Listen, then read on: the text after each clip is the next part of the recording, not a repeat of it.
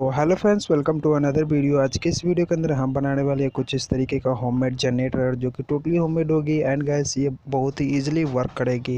And channel को subscribe नहीं किया हो तो प्लीज़ चैनल को सब्सक्राइब करके बेल आइकन कॉल पर सेट कर देना। चलिए फ्रेंड देखते हैं किस तरीके से बनाए गए हैं।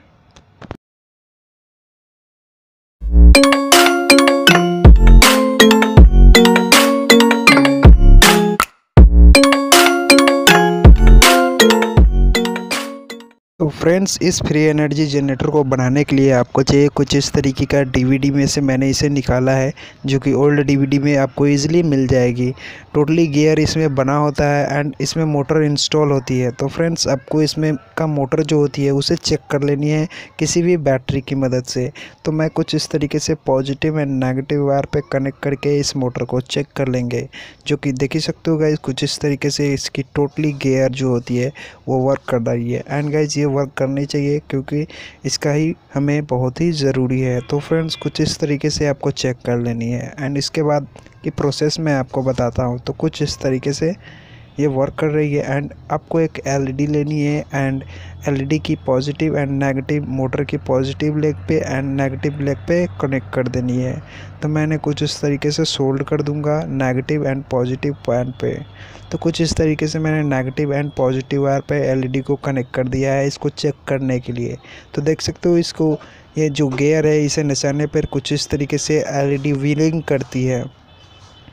जो कि देख सकते हो कुछ इस तरीके से। तो फ्रेंड्स इसे कुछ इस तरीके से नचाने से जो एनर्जी होती है, ये मोटर जो फाइव वोल्ट आउटपुट देती है एंड इसमें फाइव वोल्ट इनपुट देने से ये मोटर वर्क करती है। तो कुछ इस तरीके से मैं इसमें छेद करूँगा, जो गेयर वाली है उसमें एंड उसमें किसी भी नोकीले चीज़ को लगा करके इसे नचाने पर ये वर्क करती है। देख सकते हो कुछ इस तरीके से, जो कि काफ़ी इंटरेस्टिंग है। आप इसे स्कूल प्रोजेक्ट के लिए यूज़ कर सकते हो, जो कि काफ़ी आसान है इसे बनाना।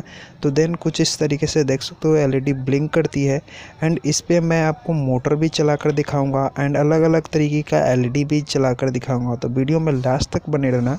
अगर चैनल को सब्सक्राइब नहीं किया हो तो प्लीज़ चैनल को सब्सक्राइब करके बेलाइकन कॉल पर सेट कर देना एंड अपने फ्रेंडों के पास शेयर भी कर देना। तो फ्रेंड्स कुछ इस तरीके से मैं इस एलईडी को हटा करके इससे अच्छे वाली एलईडी जो कि हाई पावर की होती है एंड उसे भी मैं इंस्टॉल करके दिखाऊँगा, जो कि बहुत ही अच्छी ब्राइटनेस देती है ये एलईडी देख सकते हो, ये काफ़ी अच्छी ब्राइटनेस देती है ये एलईडी आप इसे ईज़िली इसमें चला सकते हो। तो देन कुछ इस तरीके से फ्री एनर्जी आप इजीली घर पर बनाना बनाना चाहो तो एक बार ट्राई ज़रूर करना। देन कुछ इस तरीके से मैंने इसे सोल्ड कर दिया है।